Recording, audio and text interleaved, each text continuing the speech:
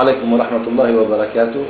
ما زلنا نتابع حديثنا الشيق مع الأستاذة هدى آه، حنا وهذا الجزء هو الجزء السادس من هذه المقابلة. طيب بدي أسأل آه، ست هدى آه، صار عندكم علم بالمخطط الصهيوني؟ صار عندكم علم بالمخطط الصهيوني القاضي بإخراجكم من فلسطين؟ علم؟ نعم. طبعا لا. علم ما صار عنا عنا إنه كانوا الانجليز يدخلوا اليهود على بلادنا. نعم. وقامت مظاهرات وقامت ثورات من أجل توقيف الهجرة اليهودية. يعني ال- ضد الإنجليز كانت ال- نعم. الثورات والمظاهرات. لا أنا قصدي آه، حج الآن إنه إنه كان في هناك مخطط صهيوني لإخراجكم من فلسطين. حضرتك حدثتي أيوة. وأنت في إنه قديم بعد بعد. حدثتي وأنت في في. إنه كان في عندك شعور؟ ووالدك كان عنده هذا الشعور؟ أو هذا الإحساس؟ بأنه اليهود و- والإنجليز بمساعدة الإنجليز سيحتلون فلسطين. وأنت بعد ما حكيتي قصيدتك حييتي فلسطين العربية. طيب. يعني هذا يمكن يكون حدث وإحساس. إيه. لكن هل صار في عندكم شعور مادي بأن اليهود يستعدوا لاحتلال الرامة وطردكم من الرامة؟ هذا طبعا عندنا إحساس بالرامي لأنه عملوا شيء بغير بلدان مثل- يعني بفلسطين نعم. من قبلنا عملوا أشياء كثيرة. نعم. فالرامي كمان من طيب يعني صار في أحاديث عبر الإذاعات عبر الصحف عبر المنظمات عبر الأحزاب عبر المثقفين؟ اطلاقا ما كان في أي إعلام عربي عما حدث في فلسطين. ما كنت ما كان حدا يعني يوعي الناس للخطر الصهيوني القادم؟ والدك مارس أي دور في آه، آه، توضيح يعني المخططات الصهيونية إذا كان عنده أي معلومات؟ بصراحة لا أبي ولا غيره كانوا متصورين إنه إنه يصيروا دولة الصهاينة نعم. عم يدخلوا لأنه في يهود كان كانت تتسمى آه،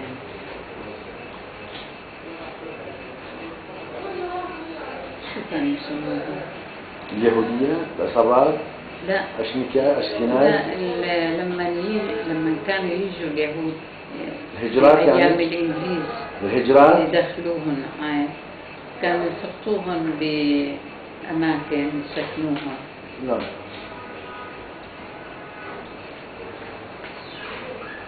كيبوتسات مستعمرات؟ إيه نعم. مستعمرات نعم مستعمرات. إيه فكانوا يعملوا لهم أماكن ويسموها مستعمرات في اسم قبل المستعمرات كبانية؟ لا. كيبوتس؟ كمان لا. ممكن أتذكرها بعدين. بس هي مستعمرات صارت بعدين. معسكرات مثلا؟ لا لا. هي مستعمرات. مستعمرات مو مشكلة.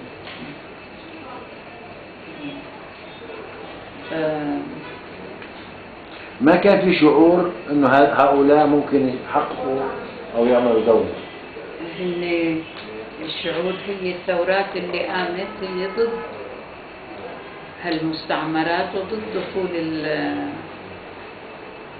دخول اليهود على ال- على فلسطين. يعني اللي موجودين موجودين بس إنه صار في هجرة كبيرة والانجليز فاتحين لهم الأبواب.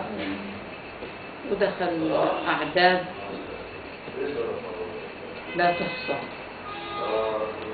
عظيم. طيب بدي أسأل آه، أستاذة آه، قرار التقسيم سامع قرار التقسيم صدر عام 1947 بشهر 11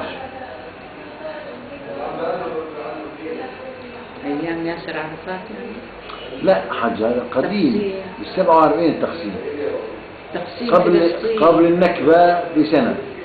تقسيم فلسطين. نعم. لا غير غير هذا غير الحل المرحلي. ما قسمت فلسطين إلا وقت ياسر عرفات. يعني إجوا الصهاينة وإجوا هيك موجودين ولكن ما كان لهم دولة ما كان اسمهم دولة طيب حج هذا ال- الكلام بال 47 قبل عرفات بكثير. إيه شو صار؟ بال 47 قرروا في كتاب اسمه الكتاب الأبيض. ورفض من ال- العرب واليهود. أيضا قرار التقسيم هذا قرار هيئة الأمم المتحدة مجلس آه، الامن قرار. يعني ما كانوا قارين ما أقروه لا ما تنفذ يعني. أي ما تنفذ هذا نعم. أنا هذا بقصد إنه ما صار تقسيم. نعم. طيب قرار التقسيم كيف كان رد فعل الناس عليه؟ يعني الأمم المتحدة أو مجلس الامن قرر تقسيم فلسطين ودولة عربية. الكونت حرى دورة الكونت برنادوت دولة الكونت برنادوت سامع دولة صهيونية. نعم. لأنهم صهاينة نعم صحيح. الكونت برنادوت سامع فيه هذا وسيط دولي آه، نعم. الحقيقة إنه قبل قبل التقسيم الفعلي كان في سم- في السمع إنه ممكن إنه تتقسم فلسطين ولكن الفلسطينيين أنفسهم كانوا ينتظروا عدم التقسيم وإنه هن اللي اللي ياخذوا البلاد كلها وهن يقوموا ب بالحكومة في بدال. بدال الإنجليز إنه يكونوا مستقلين فلسطين كاملة نعم طيب آه، ال- القرية قبل احتلالها أو قبل يعني طرد جزء من سكانها. آه، يعني ببداية 48 بنهاية 47 إيه. قررهم يتسلحوا قررهم يتزودوا بالسلاح نتيجة أو خوفهم من الهجوم الصهيوني هلا ال- القاروقجي مع جيش الإنقاذ إمتى إجا؟ اجوا 48 48 ما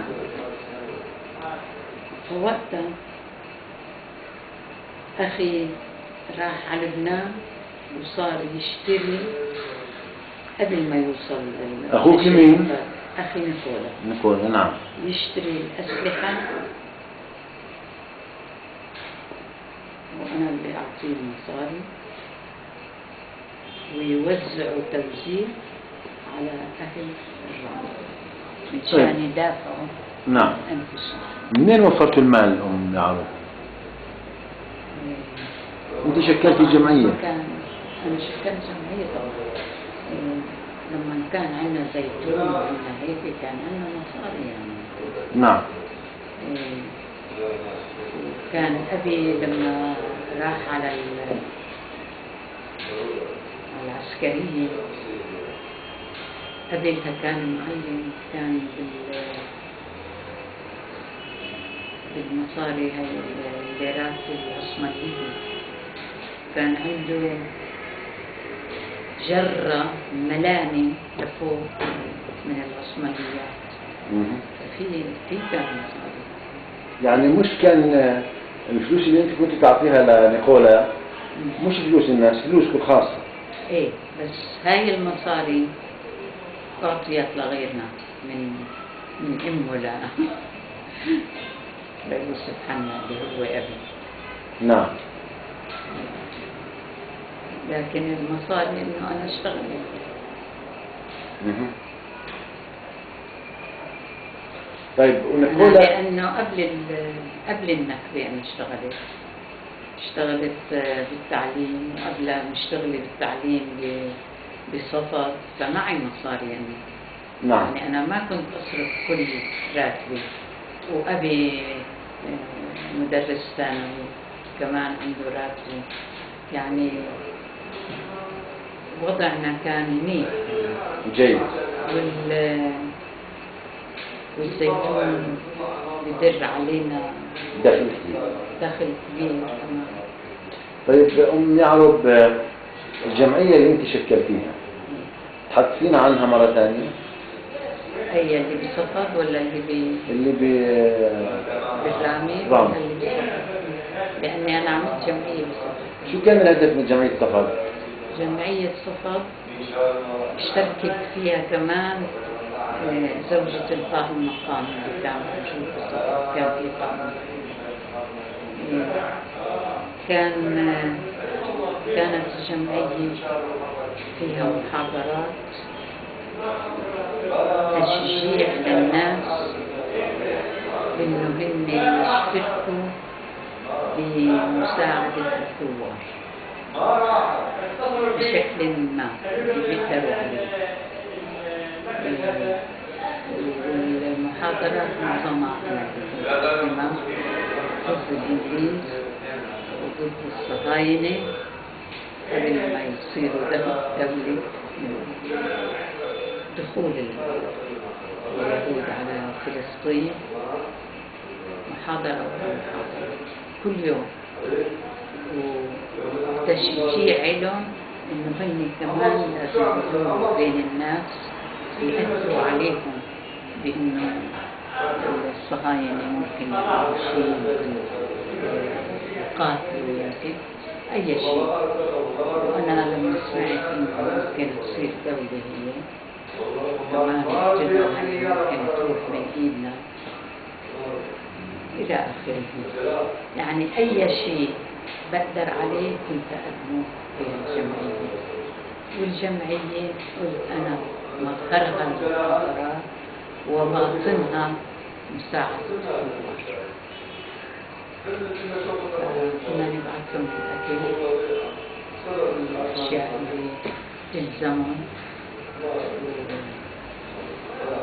كنت أقدم أنا محاضرات أسميها سرية ما يحضروا ما ما نعرف محاضرات اللي, عم بيجوا خوفا آخر المطاف يعني أنا بتخيل المستقبل وكمان نافع عملت إسعاف أولي في صفد بسقط لأنه تقديري إنه بده يصير شيء بده يصير قتال بده يصير يعني يعني بفكر بالقتال أكثر من إنها تصير دولة على ممكن يحاربوا ويقاتلوا يعني. طيب الجمعية الأخرى جمعية آه، الرامة جمعية الرامي. كمان لأني قدرت أنا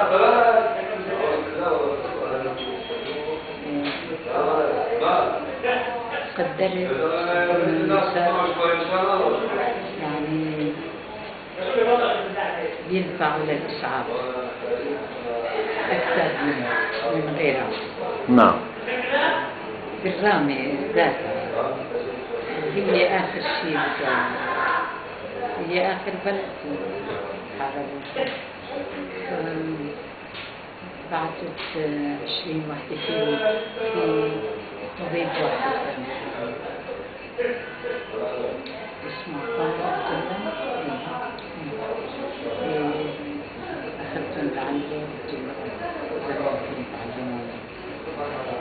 كيف يعني طريقة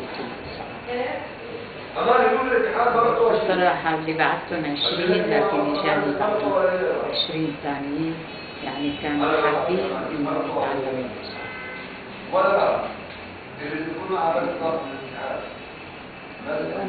قلت لهم ممكن يعني يوصل الثوار لهم أو ممكن من في الثوار فكمان هدول إذا صار يعني الثوار بس مع الأسف ما صار إلا أخي. ولا هذا.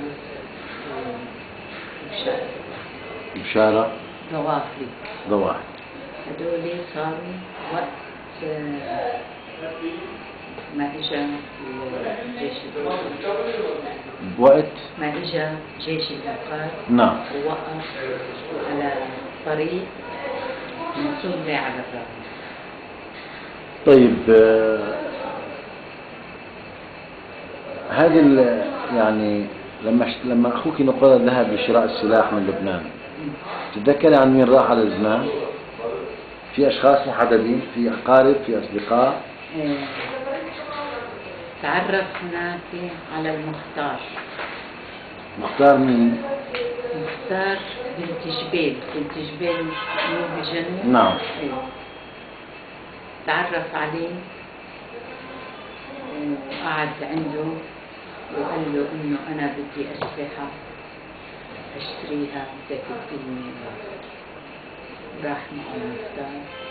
وساعده إنه يشتري الأسلحة. ورجع فيه هو اللي ساعده تتذكري اسمه مختار؟ تمام طيب. آه، كان في تجار أسلحة يجوا لعندكم؟ كان في تجار أسلحة؟ لا. طيب. أبناء القرية نفسهم. أبناء القرية نفسهم. ما فكروا يتسلحوا؟ فكر مسيحيين و... هو اللي جابوا لل... للأهالي. جابوا للأهالي. أيضا ما ما فكر حدا يساهم في شراء سلاح يعني بشكل خاص. شخصيا ما بظن ولكن لما قدم لهم يعني حاولوا يعطوه. ثمن شيء يعني قديش في ناس طيب كم قطعة سلاح توفر في المد... في القرية؟ تقريبا بقدر أعرف يعني 20 بندقية مثلاً. طبعا. كان في 20 طيب آه، تم تشكيل لجنة للدفاع عن القرية من يعني هالناس اللي أنا ما بقدر أعرف بصراحة.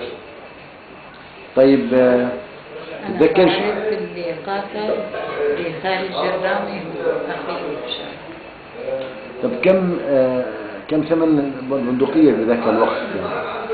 طب تتذكر شو أنواع الأسلحة اللي تم شرائها؟ هي كلها بلطية كان بنات. ما بعرف السلاح. تتذكري أمتى؟ أنا سلاحي الكتابة والكلام. والبكاء. والبكاء؟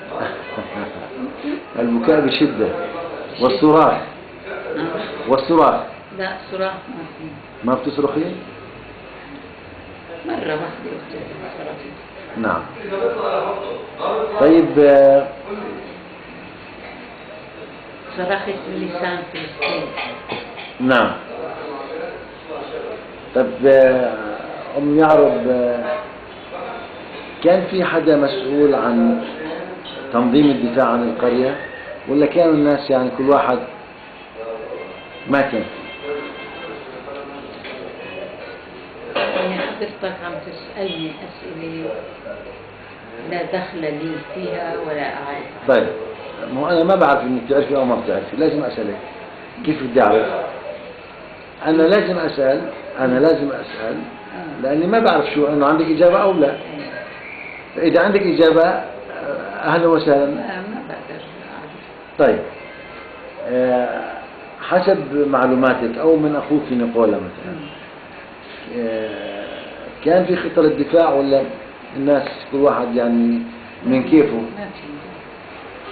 طيب اجوك ثوار من خارج القرية ثوار وليسوا جنود هدول ال- شو اسمه؟ الجيش الإنقاذ. إيه ليش الإنقاذ. هم الوحيدين اللي اجوكوا على الرامة. إيه. وين وين كانوا يناموا كانوا هن على هيك مرتفع كانوا محل ما هن في بيوت الناس في لا المدارس لا. مو بيوت حدا. على الطريق بالعراء مثلا؟ يجوا يناموا يجوا يشتغلوا. طيب ما استخدموش المدرسة؟ أنا عزمتهم قلت لك أنا. تفضل. أنا دعيتهم نعم. على المدرسة على باحة المدرسة. وقدمت لهم ربما يكون غداء. نسيت يعني. أنا اللي أنا بتذكره إنه قدمت لهم شراب. أنا هيك شيء حلو عصير. إيه، عصير. إيه. وشكرتهم على مجيئهم. قلت لك كان فيهم مدنيين ومنهم أشخاص تعرفت عليهم أنا اللي هن الأستاذ ميشيل عفلاق و- وأحمد وأكرم القرآني. واحد من بيت الزهور. وآخرين يجوز ما أعرفهم يعني من بلدان ثانية هذول كانوا من سوريا آه، سكنوا في القرية؟ لا لا. كلهم على الشارع حتى مشيال عفلاق و... كلهم كلهم كلهم مع بعض كلهم مع بعض طب وين كانوا يناموا في ما العراء؟ ناموا إيه بالعراء ما فاتوا على بيوت حدا عنا. طب كنتوا تقدموا لهم الطعام؟ الأكل والشرب؟ من نعم من الأهالي يعني. إيه، طيب. بعدين أنا بظن انهم ما ناموا ما ناموا بنفس اليوم يعني غادروا؟ لا ولا غادروا ما ناموا لأنه هن جايين ليقاتلوا مو ليناموا لابد من وقت للراحة. مش معقول يعني هيك ما يناموا. بجوزوا هن قاعدين يسهوا هيك أنا متاكده إنه هن ما ناموا. أنا تصوري نحن- إنه اللي جاي يقاتل نحمد الله نحمد. الله إنه أنت مش قائد عسكري. ولكن ما نومتش الجماعة. إيه. فلما بدي القتال أنا أول شيء طيب قبل ما نصل بس إيه، للقتال طيب. آه، مين كان قائد عسكري موجود في الرامة من الجيش الإنقاذ. من جيش الإنقاذ. كان يعني موقعه في الرامة القاوقجي أو قاوقله لأديب الشكلي لا بعدين تحت ايده أديب الشيشة القاوقجي هو صاحب ال الراية الأولى. مم. طيب أم يعرف المقاتل فعلا له قصص مين هو؟ بعدين حسب يعني بعد التصوير قصدك. طيب وصل القرية جنود جنود نظاميين عسكر يعني غير غير جيش الإنقاذ. جنود عرب وصلكم لا أردنيين أو ما في لا ما حدا طيب قريتكم قرية الرامة كانوا يروحوا يفزعوا لقرى أخرى؟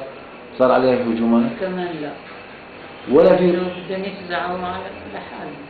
على نفسهم طب في حدا فزع لكم يا أم لا يعرف لا كمان كل قرية اهتمت بذاتها. طب قبل ما أنتم تخرجوا من ال- من القرية مم. استقبلتوا لاجئين من قرى أخرى؟ إيه كانوا اللاجئين دائما يمروا من عنا. نعم. وأنا اللي أستقبل وكنت أخليهم يرتاحوا عندي وأقول للناس المتزوجين يرتاحوا إني جايين بدهم يروحوا يطلعوا نهائي لأنه شاعرين إنه في استمرار. يعني إنه ممكن أهل الرام يصيروا لاجئين كمان فما بدهم يقيموا هناك. هناك استراحة يعني. بس كم يوم كانت الاستراحة تكون؟ يقعدوا شوي. يوم يومين؟ لا. ساعات؟ ما يناموا لا. ساعات. طب من وين كانوا هذول اللاجئين؟ من أي قرى كانوا يجوكوا اللاجئين؟ بصراحة أنا ما بقدر أقول لك منين لأنه دائما مجموعة ورا مجموعة ورا مجموعة كيف كانت أحوالهم وهم ماشيين؟ اللي ماشيين حالتهم بتبكي لأنه ما معهم أي شيء غير اللي لابسينه كانوا بال- في البيت لأنه بعضهم بدون شيء بدون أي شيء تتصور نعم. غير إن إذا ما كانت لابسة شحاطة بالبيت تطلع حافية طيب أم يعرب في قرية الرامة بنيتوا استحكامات؟ حفرتوا استحكامات؟ أو عملتوا استحكامات؟ سكنات؟ استحكامات. حفر خنادق. لا لا. أبدا. لا. ولا عملتوا مناوبة ليلية كان الشباب يناموا في الليل؟ والله نحن يمكن اعتمدوا إنه عندهم جيش الإنقاذ موجود. طب غادر أحد آه، من القرية؟ لأن قبل هاي التواريخ خوفا على الحياة خوفا على الغير لا. قبل هذا التاريخ ما غادر حدا. وبعد هذا التاريخ قليلين جدا جدا جدا جدا اللي غادروا. طيب يا أم يعرب آه، ذكرت أسر منهم نعم رح نتحدث عن هذا الموضوع. آه، حضرتك ذكرت دير ياسين وعيلبون و آه، يعني مجازر أخرى صارت في فلسطين. شو سمعت عن أي مجازر؟ عن دير ياسين؟ أنا اللي أكثر شيء بعرفه عن دير ياسين وعن عيلبون بعرف بالتفصيل أما في غيرهم طبعا. طيب تحدثينا عن عيلبون إيه.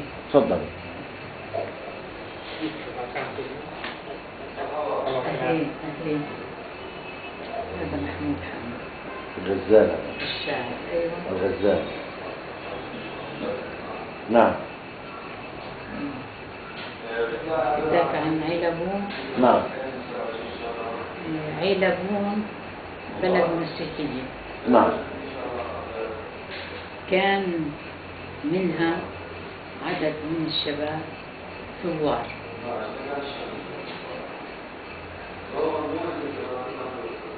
فأحتياط. خلوا الشباب تطلع من القرية بعد ما اجت لعندنا ما اجوا الصهاينة لكن تقديرا لأن دخلوا غير بلاد الصهاينة وذبحوا وقتلوا كذا فهن قالوا قالوا إنه أنتم الشباب تطلعوا. فطلعوا خارج. عيلبون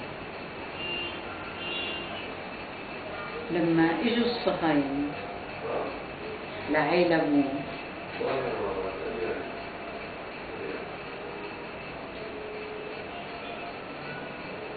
دخلوا كانوا الشباب صاروا مغادرين القرية. نعم. الشباب غادروا القرية. إيه ما كان فقاموا طلبوا من الأهالي إنه يطلعوا من البيوت. طلعوا الناس يطلعوا يا أولاد صغار يا نساء. عجزة ورجال عجزة آه، شو ما في عندكم شباب؟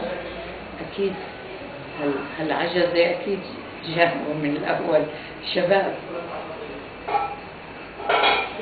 إذا شبابكم خارج البلد ابعثوا جيبوها لأنه نحن ما رح عندكم نذبح ولا نقتل اكتفينا باللي صاروا واللي صارت ال- المدن تستقبلنا بدون قتال. يعني يسلموا بدون قتال. وانتوا هكذا هون دخلنا بدون قتال. فابعثوا جيبوا شبابكم. يرجعوا لأشغالهم قاموا من طيبة قلبهم المسيحية شوي. قلبهم طيب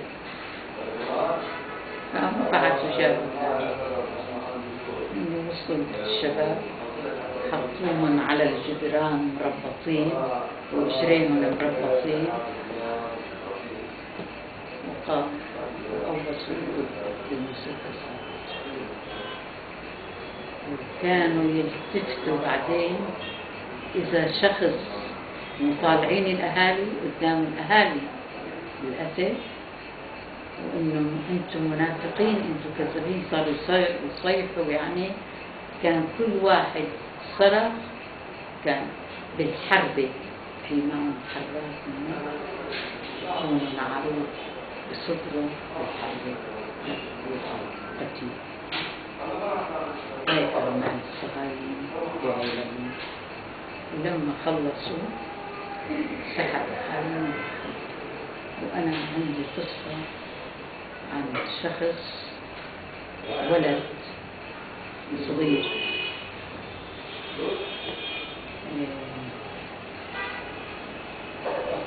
كان موجود متخبي بيته البيت في يعني البيت تدخل له على الحكة يعني يعني تفوت من البيت رأسا من الشارع على البيت رأسا. يعني ما في درج ولا في شيء. بس في الداخل كان في كم درجة وغرفة على جنب. فالصهاينة وقتها ما اكتفوا بقتل الشباب دخلوا على البيوت يفتشوا. إنه ممكن يكون حدا متخبي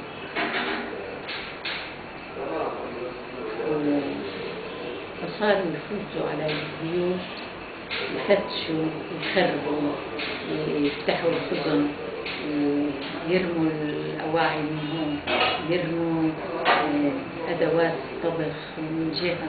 كله تخريب بهالبيوت تخريب وأخيرا بدهم فاتوا على هذا الولد اللي بقول لك عنه طلع هو يشوف شو عم بيعمل. الصهاينة خلى اخوته الولاد جوا بالغرفة اللي تحت. يعني مخبايين ورا الفراش. حاطط الفراش قدامهم وهن ورا الفراش. إنه محبأ هذا إنه هون فراش لأنه هو طلع قدام الباب شافهم شو عم بفوتوا على فلما قربوا معهم نفس نفس هيك. خفيفة وهرب هرب من البلد. وماسك اخوته أخ وأخت. ماسكهم هن اثنين ورايح فيهم. يركض فهو سبقهم الركض وصل لشجرة زيتون لعيلبون مشي للرام مسافة كبيرة ماخذ وقت فيها. يرتاح شوي ويكمل وقدر إنه راح يلحقوه راح يجوا يعني. الصهاينة بس لقاهم عم بفتشوا هون وهون قال ليخلصوا هذا الشيء. هن فعلا خلصوا دخلوا الكنيسة في كنيسة كمان فيها ناس اهتموا بالكنيسة أو فتحوا الكنيسة وأولصوا الناس اللي بالكنيسة فهدول لما هربوا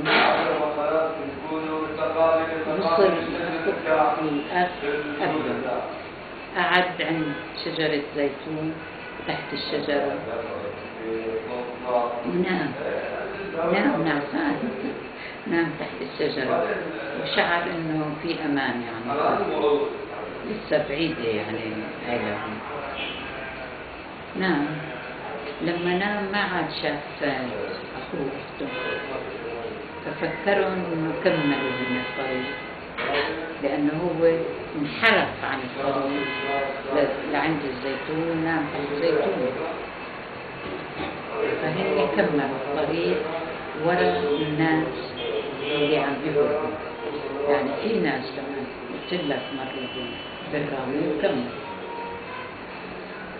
ففكر هو إنه بيحقوها نعم. لما نام في شخص اجا يطل على الزيتون شافه.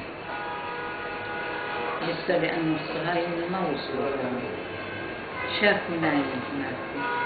سيئوا وحملوا آه، هو مو صغير صغير يمكن كان عمره شي سنين. بس كمان بينحمل لأنه نايم وصلوا لبيتنا لأنه بيتنا أول بيت بعد عين الصلاة يعني لما بدك تدخل على الرامية بنكون نحن أول بيت فدق على الباب وفتحت له أمي قال لها إذا ممكن هذا الولد أنا لقيته نايم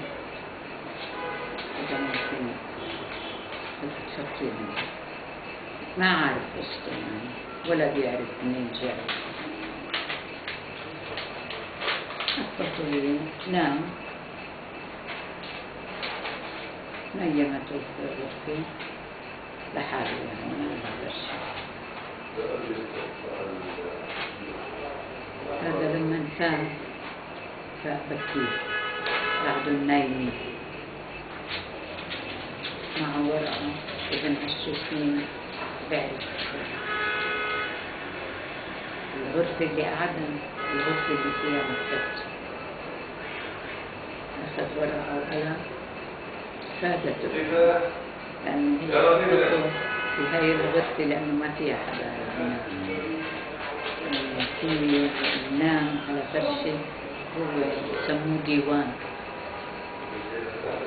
نام عليه قام طال ورقة وكتب عليها. شكر لأمي لأننا نجمته وبيعتبر إنه هو راح قبل ما يفيقوا لأنه بده يفتش على أخوه. وأخته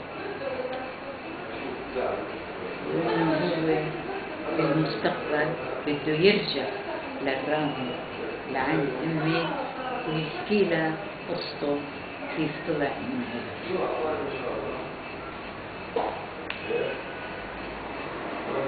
هلا بعدين بكمل قصته لأن بعدين. طيب آه، شو اسمه هذا الشخص آه، نعرف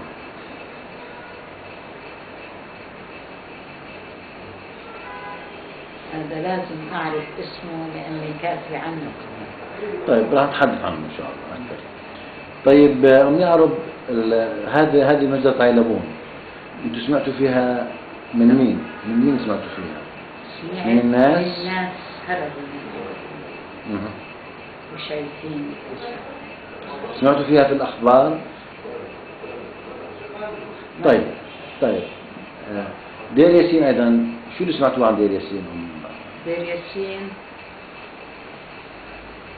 أنا كاتبة قصة عن وحدة قصة حقيقية. نعم. اسمها زينب. مكتوبة بكتاب صوتي. لا. ملاك. لا. أريد أن أموت في فلسطين. طيب احكي لنا عندي عندي الكتاب. نعم. عندي. في قصة من القصص عن زينب. زينب هي من دير ياسين. كانت آه، مستأجرة غرفة معي بالقدس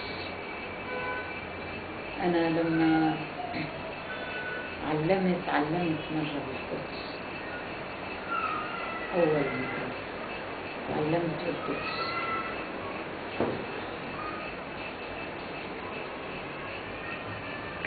عفوا علمت بالقدس هذا صحيح.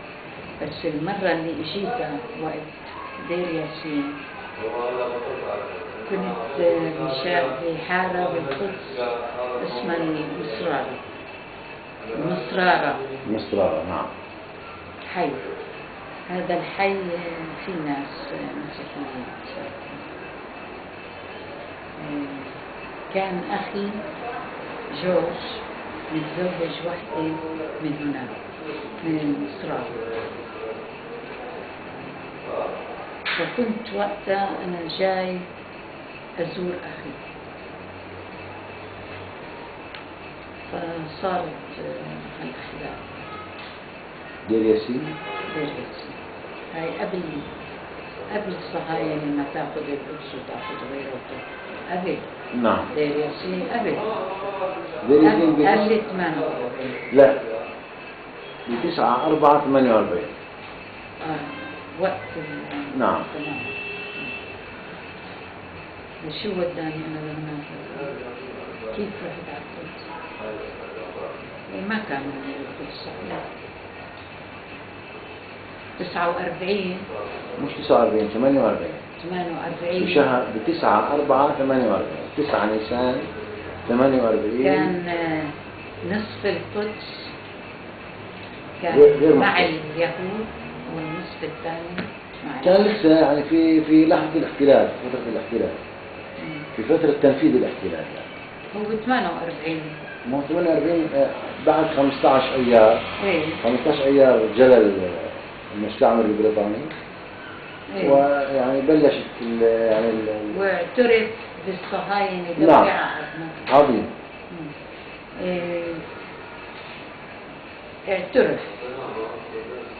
نعم. هذا اعتراف بالاحتلال لأنه معترف فيه فإجا ياسر عرفات وقعد بأوسلو مع وقتها مين كان؟ رابين شميل آه. شميل في مدريد شميل بعدين رابين نعم. رابين مع في أوسلو رابين نعم. بأوسلو ما بدنا نروح لعند هذاك التاريخ. يلا. خلينا بال ب... إمتى؟ بدنا عن زينب. أسلم إمتى اعترف ياسر عرفات؟ ب 93 93 نعم. أوسلو 93 تأخر كتير أنت بدنا نحكي عن عن دير ياسين. دير ياسين. وعن زينب. نعم. فقعدت إجت زينب من دير ياسين هي من دير ياسين إجت معه وين إجت معك؟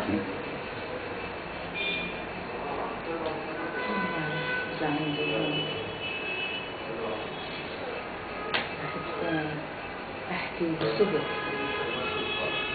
مش بصدق بدقة أنت دائما صادقة إن شاء الله. شو أخذتهم مني؟ هوام عند مش مشكلة. شو تتذكري أنت عن موضوع زينب؟ بفضل أشوف لأنه الشوفي غير. طيب راح نشوف وراح نحكي في موضوع زينب. راح نحكي راح نكمل في موضوع زينب. يعني راح أعطيك فرصة تحكي عن زينب. إيه، أو عن قصة زينب. هي قصة زينب موجودة بالله بفضل إنه أحكي من القصة مشان ما أقول لك والله هي نسيتها وهي نسيتها. طيب. فهي مكتوبة. بدي أسألك عن تأثيرات تأثير عيلبون كمجزرة كمذبحة للصهاينة لأهلنا من قبل الصهاينة ودير ياسين أيضا اللي سمعت عنها. قبلها. دير ياسين قبل عيلة عظيم. لما أنتم في قرية الرامة سمعتوا عن هذه المجازر شو كان تأثيرها على آه، أبناء قرية الرامة؟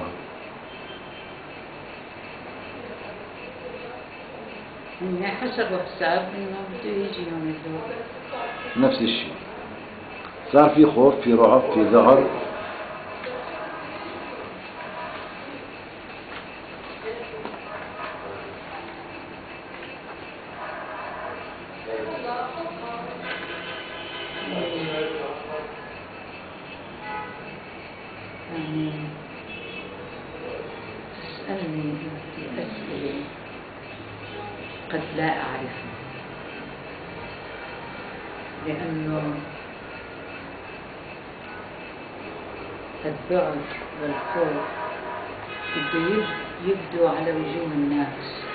وبدهم يطلعوا لبرا يبينوا خوفهم هذا ما حصل عشان هيك أنا ما بعرفه. طيب عظيم. بدنا نيجي آه، دكتورة أو أستاذة. وأهل الرامي شوي. شجعان؟ إيه. بس يعني هم لما يكونوا عزل وعندهم أطفالهم وعندهم نسائهم وبناتهم إيه. لا شك أن الرعب. يعني مسألة طبيعية في الإنسان. يعني مين منا ما بيرتعب ويخاف إحنا حتى الشجاع بيرتعب ويخاف طيب حضرتك وين كنت لما صار هجوم على القرية؟ لما صار احتلال القرية وهجوم على القرية. وين كنت؟ على أي قرية؟ الرام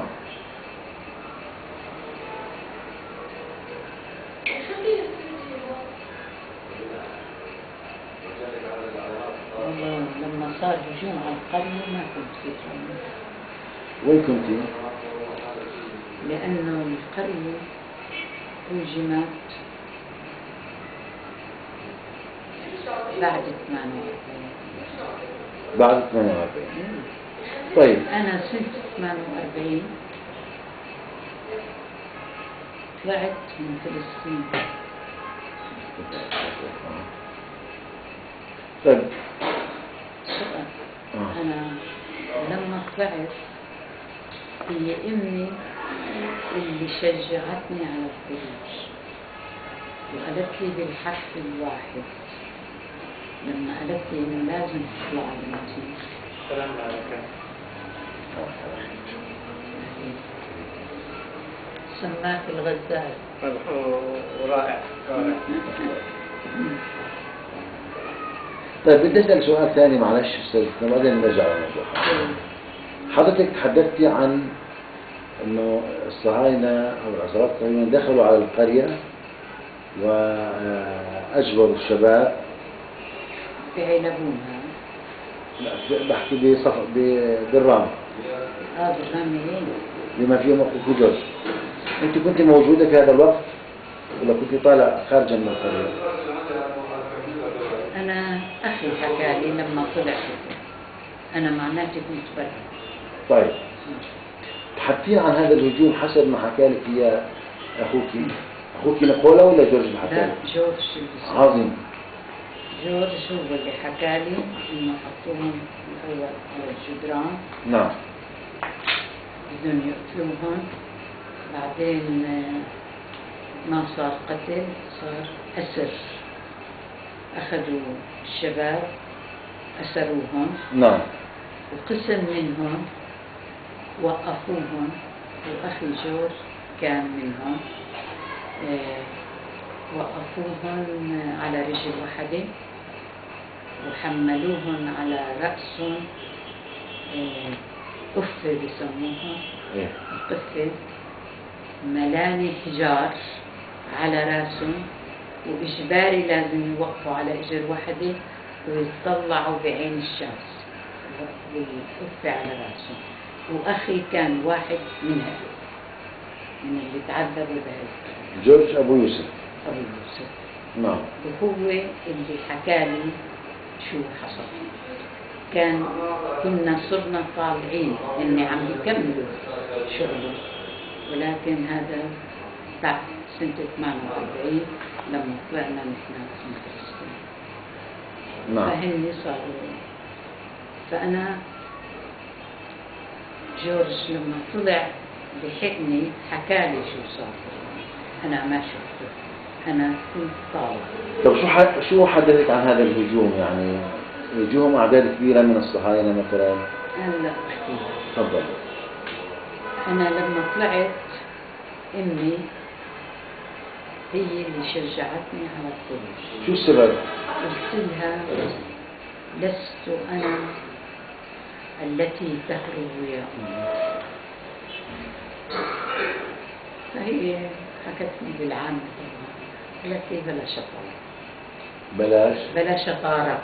بلا شطارة. لأنه الصهاينة كانوا يدخلوا على البيوت وإذا فيهم صبايا كانوا يفتكوا فيهم. ويقتلوهم ويعملوا يعني يعذبوهم أنا ما قدرت بالكلام قلت كان في تعذيب. لك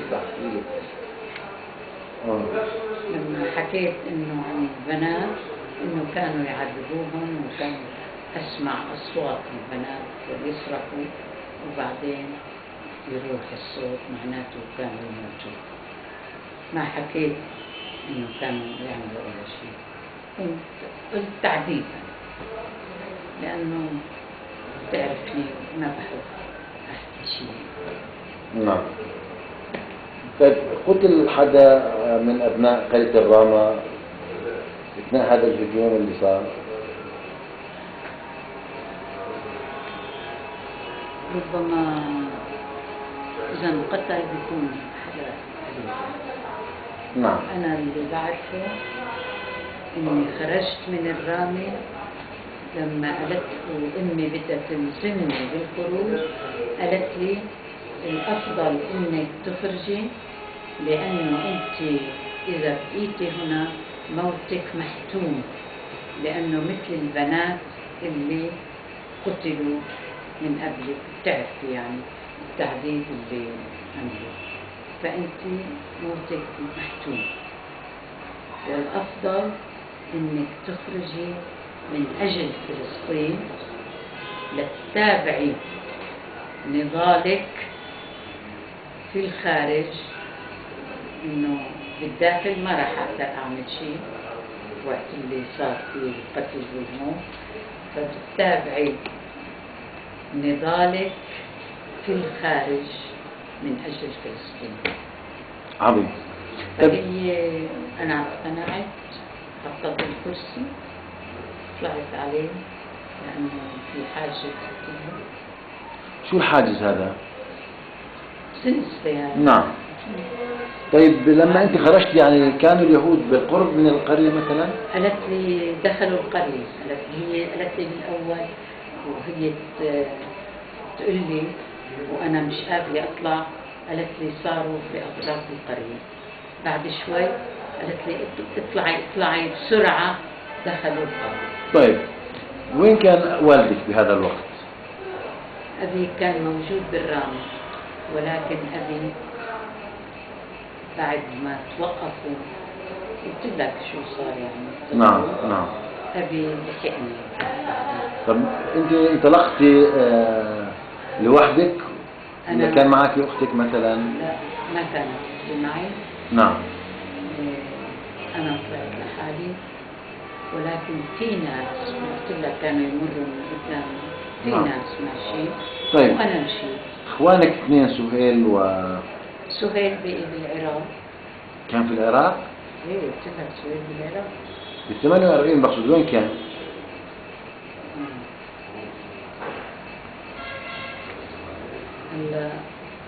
سهيل ونقولا نقول موجود يعني إيه سهيل قلت لك إنه راح بالاي بي سي ما حكيت لك أنا؟ إيه إيه بالضبط. إيه راح على العراق. بس بسفر ما كنا نعم. بالذبح والقتل مهم. إيه. طيب. راح بسفر نقولا شو آه، وضعه كان؟ نقول رأسا آه، آه، بالأول دخل مع جيش الأنقاذ مباشرة. ولما لما هزموا. عندما هزموا هزم لما هزم راحوا وصلوا هن لعند قلعة جدين. نعم.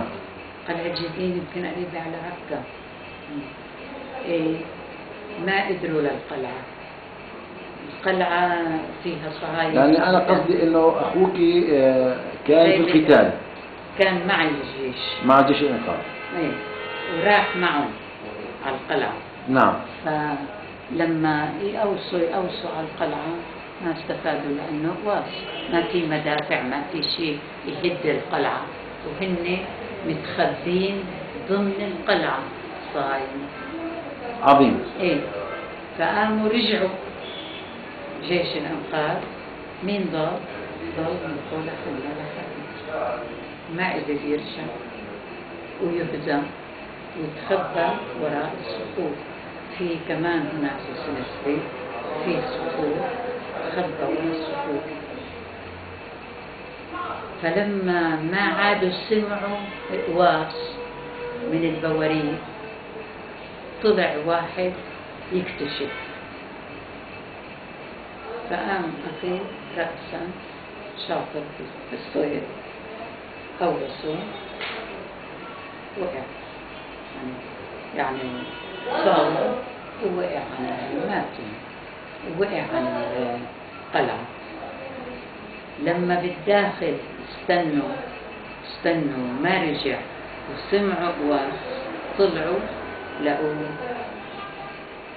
طلعوا على جنب مو انه انه شيء انه يشوفوه لما ما شافوا عرفوا إنه أسد. طلع واحد منهم محله. نفس الشيء.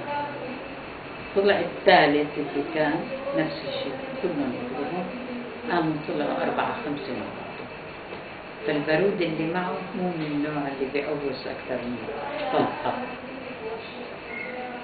فلما شافهم أربعة خمسة خبى ورا الصفوف وما قوس ما قوس لأنه عارف إنه هن طالعين معهم سلاحهم. إذا قوس شخص هن بدهم يقوسوه بده يروح فهو تخبى ورا الصفوف قوسوا قوسوا قوسوا إنه لا شك إنه بيكون مخبي. فقوسوا على على السلسلة كلها وقوسوا محل ما هو متخبي فهو إجا عليه شظايا من الصفوف اللي تقوست فل- يعني كسرت فصار في شظايا وصار دم يصير وما قدر يوقف. أولا ما قدر ثانيا. ما بده يوقف لأنه بدهم إذا شافوا شخص أكيد لساهم واقفين من هون إنه لعل حدا مخبي لهم بس الأغلب هو الدماء اللي نزلت منه ما سمحته إنه يوقف صار يزحف ورا السنسلة زحف على بطنه. شوي ما قدر مسافة كمان. الدماء نزفت نزفت صدفة بعد ما زحف زحف يعني. ودوكي ما عاد لاقوا حدا للقرية. في شخص من قرية قريبة لهالمكان. راكب على حمارة وجاي. من البعيد شاف شخص يعني مرمي بالأرض نزل عن الحمار لا طلع هو من برول من قرية قريبة علينا. يعني ونعرفها كمان. شاف شاف حمل وعرفوا يعني حطوا على الحمار وهو ماسكه وأخذوا عطاني البيت أخذنا رأسا عند الطبيب موجود وتعالج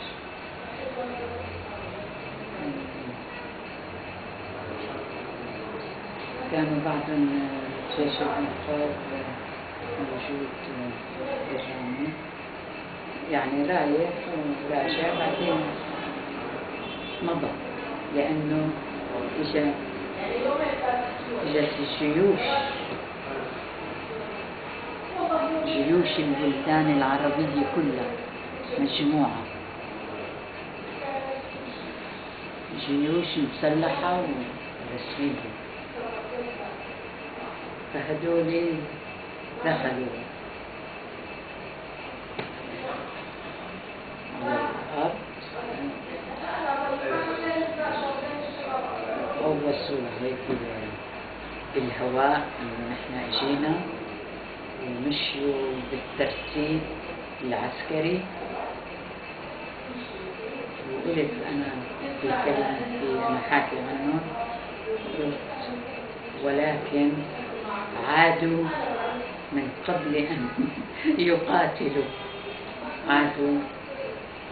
أنا سميته العبث السياسي جعلهم أن يرجعوا يعني سياسيا في قالوا لهم أن يرجعوا فرجعوا بدون قتال.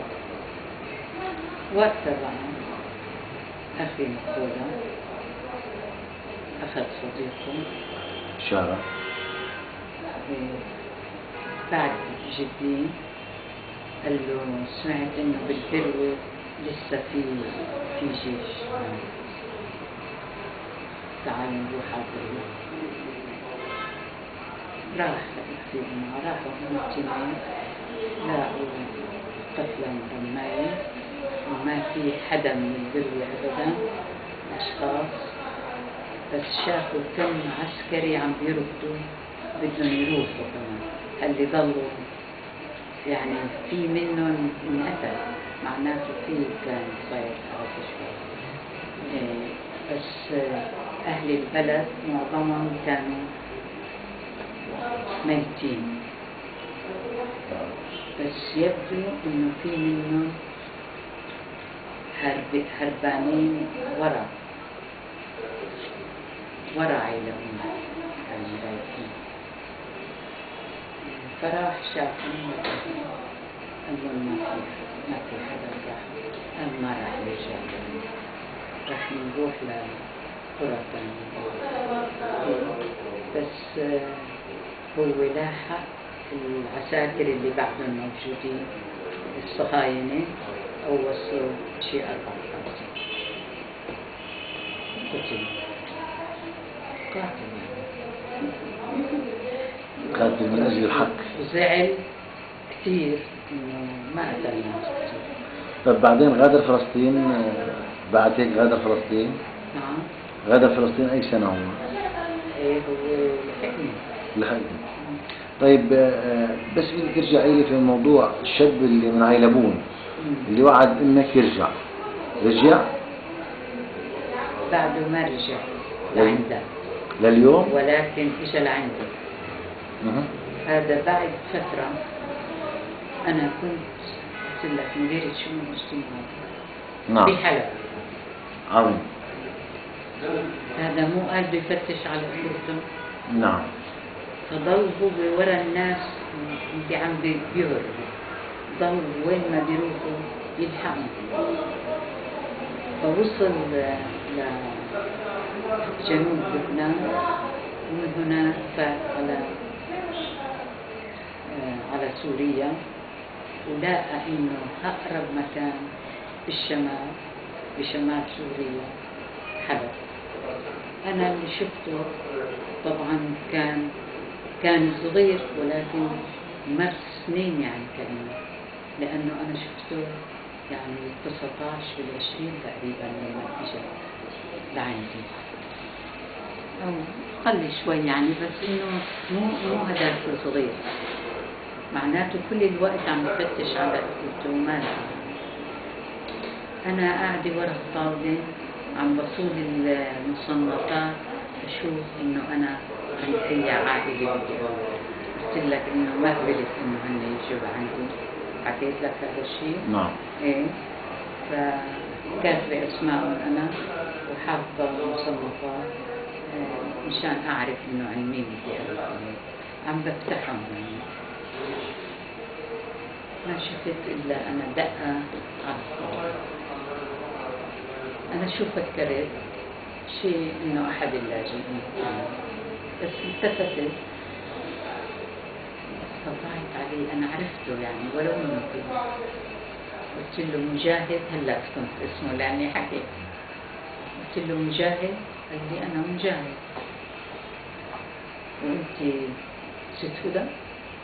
قلت له ليش أنت بتعرف هدى قال لي لا أنا بعرف أمها بعرف أمي بس كانت تقول يعني تناديكي يعني باسم.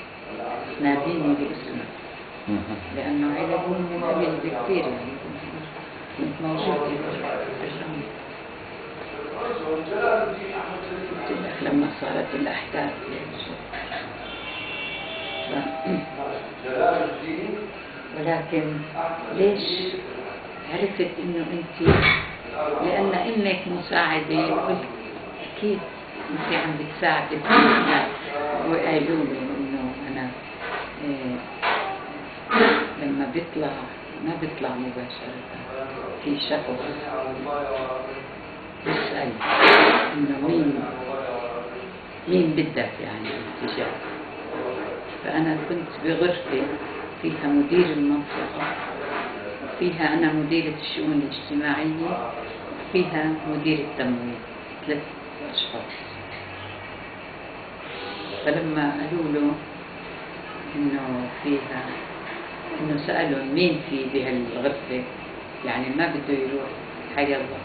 هو عم بفتش علي أنا بالذات وتصور إنه أنا لأني مثقفة إنه أنا عم بشتغل. يعني من عنده من ذكائه. فسألوا أنا. قال له إنه في وحدة اسمها هدى اللي بيجيبه قال له إيه؟ هي مديرة شؤون اجتماعية قال له تسمح لي اطلع له لا خبرني قال له لا معلش أنا حابب أفاجئها. كان سمح لي لما قال أفاجئها إنه بيعرفني أنت فاجأتي ها لا مجاهد.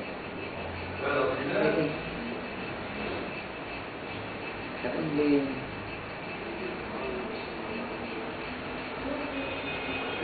أنا لازم أفتش عن طفولتي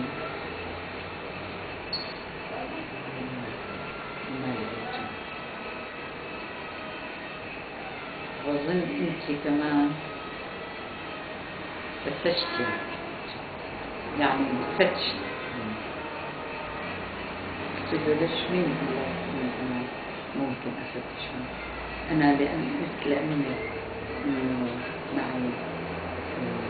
إني أنا تركت على الورقة تركت الورقة لأني إنه أنا رايح أفتش على أختي في بلوغ أخته اسمها اسماء بس أخو نسيت هو لما كان قاعد قبل ما ينام تحت الشجرة كان ينادي بصوت عالي أسماء بأعلى صوته إنه بلكي يعني قريبة هي إنه مشي وراه تكون موجودة.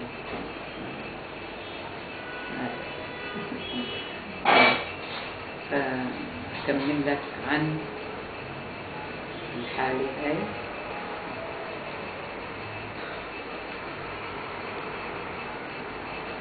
قلت له إنه نتابع نحن سؤال. في أشخاص عم تفتش عليهم قال لي مين؟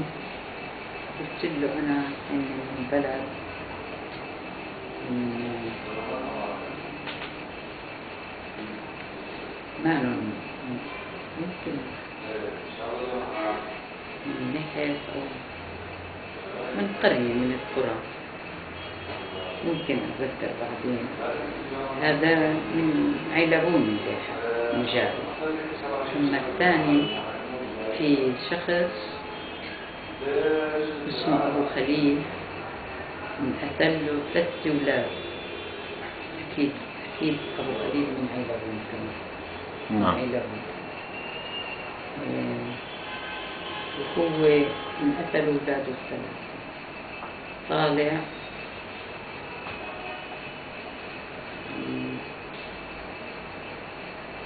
بيقول شاف شخص بالطريق قاعد ورا صخرة متخبي. اللي قاعد فكر إنه جاي اليهود موصلين لهون وجايين يقتلوه فتخبى هو كان قاعد يقعد يعني. يعني نزل حاله وراء فإجا أبو خليل. لما شافوا إنه المشي إجت عنده قال خلاص رحت يعني. ولا شافوا عربي بحكي له مين أنت؟ ليش هيك نايم؟ يعني حكى بالعربي له أنت فلسطيني؟ له فلسطيني قعد ساعتها قال له شو عم تعمل هون للشخص اللي قاعد؟ قال قال له أنا ضيعت أولادي هذا غير مجاهد شو اسمه؟ أنا اسمي سعد. قال له منيح اللي ضيعت أولادك إلا مسائلهم لكن أنا ضيعت أولادي بالفجر ما تقدر شفت أولادي وصار يبكي مسكين. فقال له أنا تعبت يعني هلأ. كله مشي. إذا أنت رح تروح لأول بلد بدك تروحها. ممكن توصل قدري أنت فبتفتش لي عليهم وقال له اسمع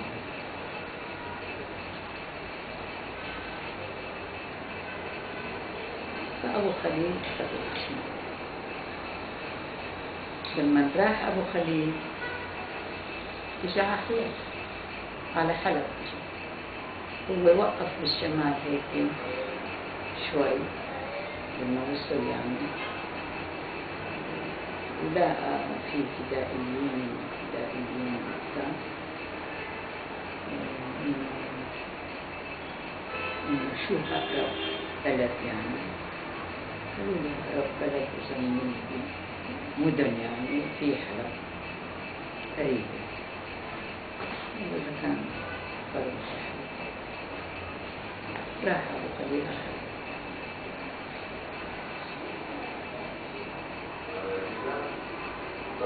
لكن قال له في كيس معي حطيت فيه المصاري اللي عندي يعني هن كلهم كانوا يطلعوا غريبة هذا ما في المصاري لأنه محطوطين بصفر لي الكيس وإذا لقيت أولادي أعطيهم إياه فأخذ أبو خليل الكيس قال له إن شاء الله بلاقي أولادك وبعطيهم الكيس فراح أبو خليل على المترو على حلب ليش اجى في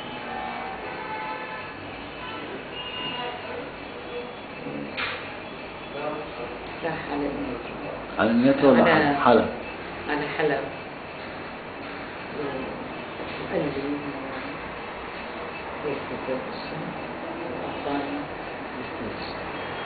بس أنا رايح على ما راح أضل هون لأنه إله ناس إن شاء الله بشوفك هناك إذا صدق يعني.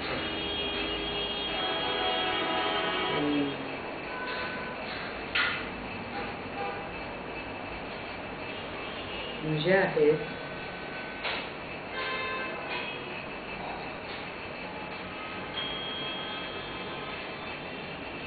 بعد ما اجى لعندي وقال لي بده فتش على اخته وقلت له أنا بروح آه، بفتش لك عليه. تعال معي يعني أخذته أنا كنت في غرفة غرفة عند ناس. أنا لسه ما شفته قلنا قصدك يا القهوة ما في غرفة عند ناس.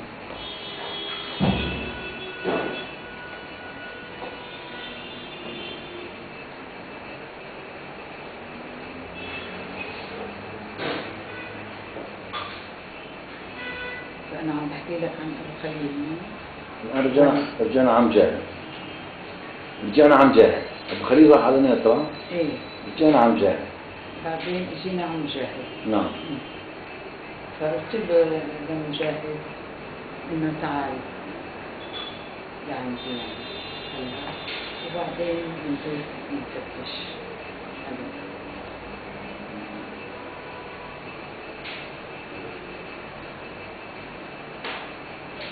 عليه اجا اجا لعندي عمل نفس الشيء. أنا ماخذه غرفه عند عائلة بشارع اسمه مليار بحلب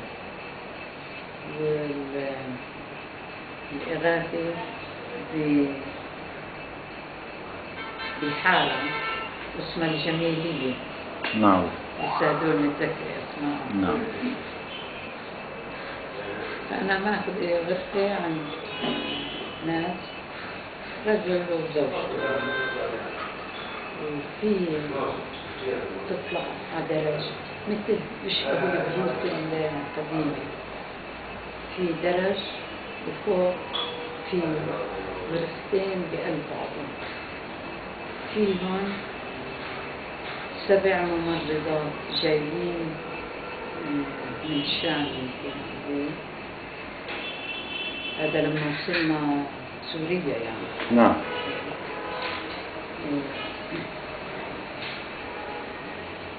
ممرضات بدهم يتعلموا التمريض فأنا ماخذ الغرفة من تحت قاعدة. وإجا مدرب عندي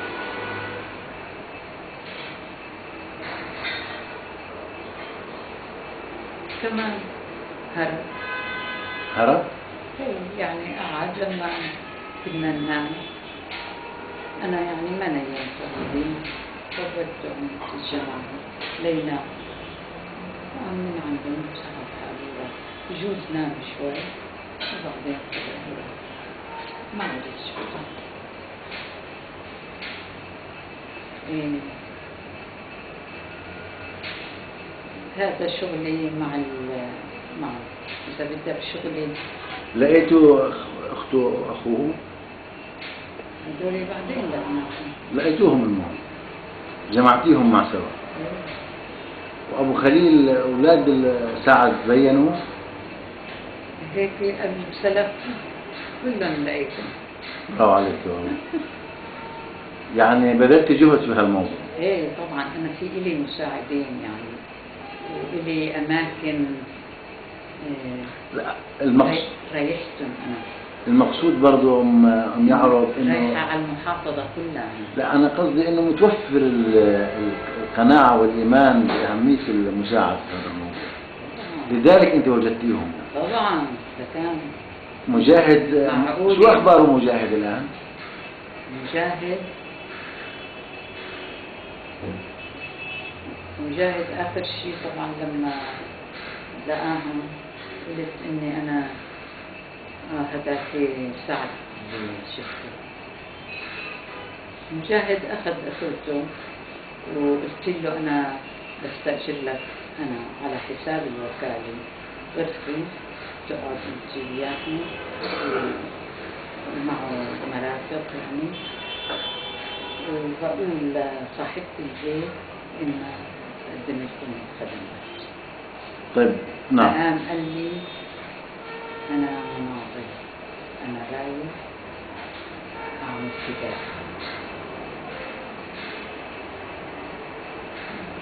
بيعمل فدائي انبسطت قلت له طيب في أخوك وأختك في بلد قريبة جدا على جنوب لبنان. يعني متعلم كمان بيعمل فدائي إيه، قريبة جدا. وبقدر إني أنا أعمل شيء. يعني يقعدوا هني هو فعلا في قريب. والفدائيين اللي ما اللي مو دورهم. بقعد كم واحد بالشمال هيك برا.